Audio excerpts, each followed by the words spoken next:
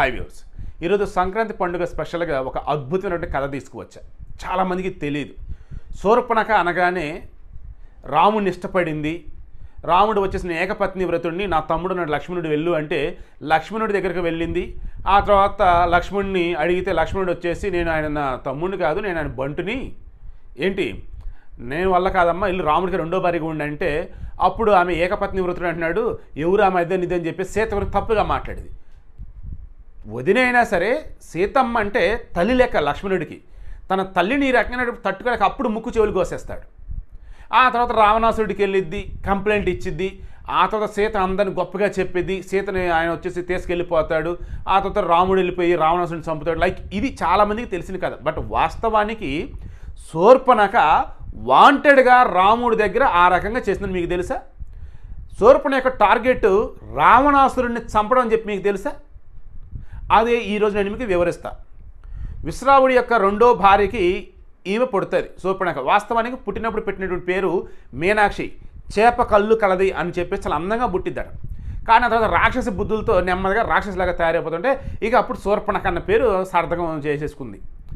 ఈ శూర్పణఖ ఒకరిని పెళ్ళి చేసుకుంది. వాడి పేరు విద్యుత్ జిహ్వా ఈ విద్యుత్ జిహ్వా అనేటువంటి క్యాండిడేట్ కూడా క్రూరమైనటువంటి రాక్షసుడే. ఏ రకంగా? బావ అయినటువంటి రావణాసురుడికి అండగా దండగా ఉంటూ కుడిభుజంగా ఉంటూ యుద్ధాలన్నింటిలో కూడా అసలు ఓ రేంజ్లో ఇది ఏమంటారు? చెలరేగిపోతూ ఉంటాడు. ఇక రావణాసురుడు కూడా విద్యుత్ అంటే మంచి ఇష్టం ఏర్పడింది. అయితే ఈ విద్యుత్ జిహ్వకి కాలకేయులు అని చెప్పే సన్నదమ్ములు ఉన్నారు.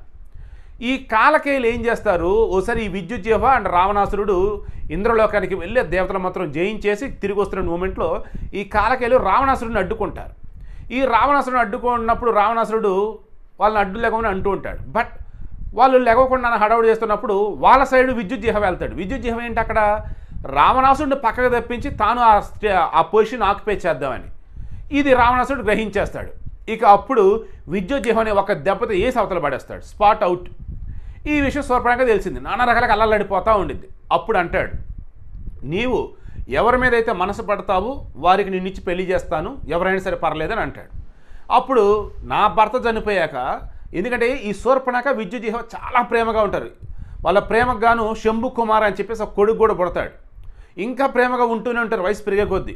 అంత గొప్ప ప్రేమతో ఉన్నటువంటి వారిలో భర్తను చంపేస్తే అన్న ఎలా ఊరుకుంది ఆ చెల్లి ఇంకా వీడికి స్పాట్ పెట్టాలరా అనుకుంది.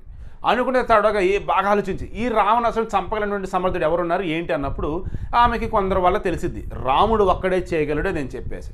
అప్పుడు రాముడి దగ్గరికి వచ్చి ఇందా మనం చెప్పాము చూసేవారా? ఆ వేళ మొత్తం యాషాలు వేసిద్ది. ఇక ఆ తర్వాత రావణాసుడి దగ్గరికి వచ్చేసి సీత గురించి నానా రకాలుగా చెప్పిద్ది. ఆమె ఇంటెన్షన్ కూడా ఏంటి? సీతను తీసుకురావాలా. ఆ తర్వాత రాముడు వచ్చి సీతను పట్టుకెళ్ళే విషయంలో రావణాసుడు అడ్డుపడతాడు. రావణాసుడు నేను రెచ్చగొడతాడు. సో రావణాసుడు యుద్ధానికి వెళ్తాడు. అప్పుడు రావణాసుడు అయిపోతాడు. ఇది ఆమె టార్గెట్. సో ఎగ్జాక్ట్గా ఆమె అనుకున్నదే అయింది. ఇది వాస్తవానికి కథ. కానీ చాలామంది ఈ విషయం తెలియదు అనమాట సో ఈ కథలో మనకు తెలియాల్సింది ఏంటిది? సోర్పనకకి రాముడి మీదో లక్ష్మణుడి మీదో ప్రేమ కాదు వ్యామోహం కాదు ఇంకేది కాదు.